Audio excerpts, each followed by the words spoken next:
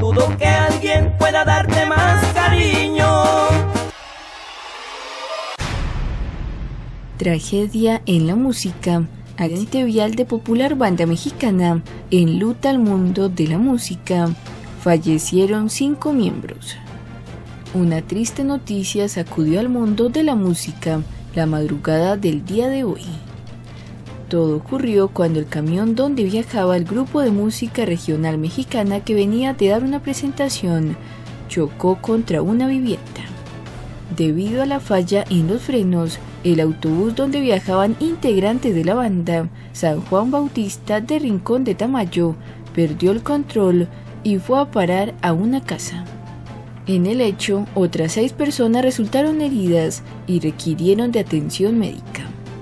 Quienes perdieron la vida fueron Olegario Rodríguez, Jaime Hernández, Federico Carreño, Eduardo Mandújano y Juventino Leona.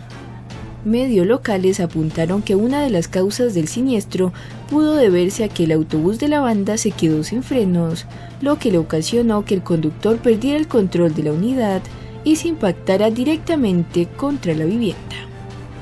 Uno de los fallecidos era el vocalista del grupo, solo uno de ellos salió ileso.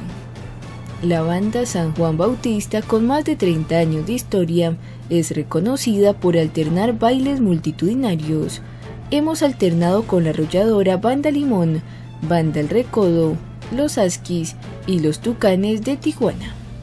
Los diversos integrantes de la banda San Juan Bautista eran muy reconocidos y queridos por muchos. En redes sociales, diferentes agrupaciones de renombre lamentaron la pérdida del grupo y expresaron sus condolencias a amigos y familiares.